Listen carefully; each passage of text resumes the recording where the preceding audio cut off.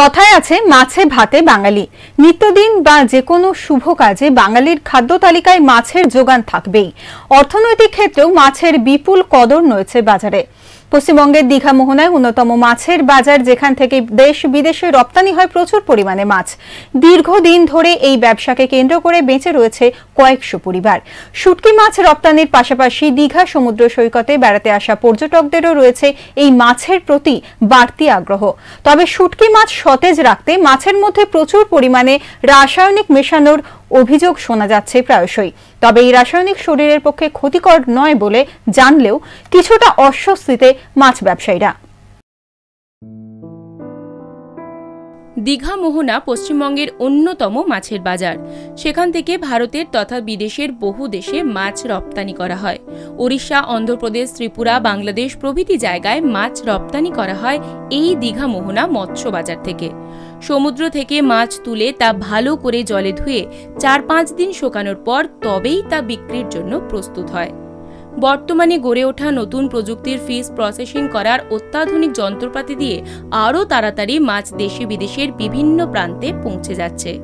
শুটকি মাছে কেমিক্যাল ব্যবহার নিয়ে বর্তমানে মানুষের মনে যে প্রশ্ন উঠেছে, তা নিয়ে মাছ ব্যবসায়ী পাপলু জানান, তিনি শুটকি মাছ গতানুগতিক পদ্ধতিতেই চাষ করেন। রাসায়নিকের ব্যবহার পুরোপুরি অস্বীকার না করলেও তিনি নিজে ব্যবহার করেন না বলেই জানান। এনেকে জলে পরিষ্কার করে ধুয়ে মাছের লালটা ছেড়ে মানে পরিষ্কার করে দিয়ে তাকে পাটা উপর ফেলে দিই। আচ্ছা এই মাছে কি কোনো কেমিক্যাল দেওয়া হয়? না কেমিক্যাল ব্যবহার না আমরা খাব তো কোনো কেমিক্যাল দেওয়া হয় না? আচ্ছা অনেকেই বলছেন যে মাছের মধ্যে কেমিক্যাল মেশানো হয়। মাছের মধ্যে একেবারে যখন ঝড় টড় হয় তখন ইউজ করে অনেকে। সেটা কি জন্য করা হয়? মাছটা যাতে পচে না যায় সেই জন্য। আচ্ছা। তাছাড়া এমনি যখন ওয়েদার ভালো থাকে তাতে কোনোই ব্যবহার হয় না। এই যে এখন যে মাছ আপনার এই মাছে কি কেমিক্যাল দেওয়া আছে? না। ওয়েদার ভালো কেউ কিছুই ব্যবহার করে এটা তো এক্সট্রা খরচ প্লাস আমি যদি খেতে না পারি লোকে খাবে আচ্ছা এই মাছগুলো আপনাদের কোথায় কোথায় মানে কি কি মাছ এই শুটকি মাছের মধ্যে কি কি মাছ আপনারা শুটকি মাছ তৈরি করেন? কি কি মাছ দিয়ে? বোমলা রুলি মিনি শিলা আরও অনেক রকম মাছ আছে। বারো থেকে পনেরো বছর ধরে যুক্ত আছেন এই ব্যবসার সঙ্গে। তিনি অবশ্য জানান, শুটকি মাছে কম বেশি কেমিক্যাল ব্যবহার করা হয়। মাছ যাতে ভালো থাকে, যাতে পোকা না লেগে যায়, তার কারণেই এই কেমিক্যালের ব্যবহার হয়ে থাকে। তবে তা মানুষের শরীরে কোনো ক্ষতিকর প্রভাব ফেলে না বলেও তিনি জানান। বেশিরভাগ বর্ষার সময় মাছের মধ্যে দেওয়া হয় এই কেমিক্যাল।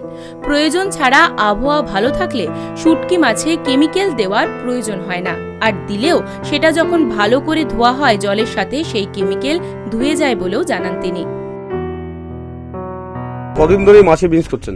আমি এখানে আছি ধরো পনেরো বছর মতো। কি কি মাছ আপনারা এক্সপোর্ট করেন বা ইম্পোর্ট এক্সপোর্ট করে বাইরে পাঠাচ্ছেন চিংড়ির কাছ থেকে এই তো সাদা মাছ অব্দি সব মাছ। মানে যত মাছ এখানে নদীতে মাছ পাওয়া যায়। আচ্ছা শুটকি মাছও করেন? হ্যাঁ শুটকিও হয়। আচ্ছা একটা প্রশ্ন দেখা দিচ্ছে যে শুটকি মাছে নাকি কেমিক্যাল ইউজ করা হয়? হ্যাঁ হয় কম বেশি করা হয়। কি মানে সেটা কি মানুষের শরীর পক্ষে ক্ষতিকর? না ক্ষতিকর না। কি কেমিক্যাল ইউজ করা হয়? সে কেমিক্যাল বিভিন্ন রকমের কেমিক্যাল আছে।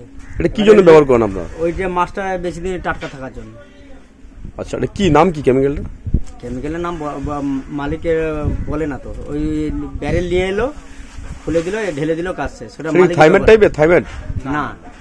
ওইটা তো পোকার জন্য দেওয়া হয় থাইমেট আচ্ছা আচ্ছা সেটা যে থাইমেট যে পোকার জন্য দেওয়া সেটা কি মানুষ খাচ্ছে সে শুটকি মাছ? তাতে কি শরীর ক্ষতিকর? না সেটা ক্ষতিকর না। ওটা ধোয়া হয়ে যাচ্ছে। তারপর মাছটা ধোয়া হয়ে যায়। হ্যাঁ। পরিষ্কার করা হয়ে আর তাহলে শুটকি মাছ খেলে মানুষের শরীর কোনো ক্ষতি হবে না?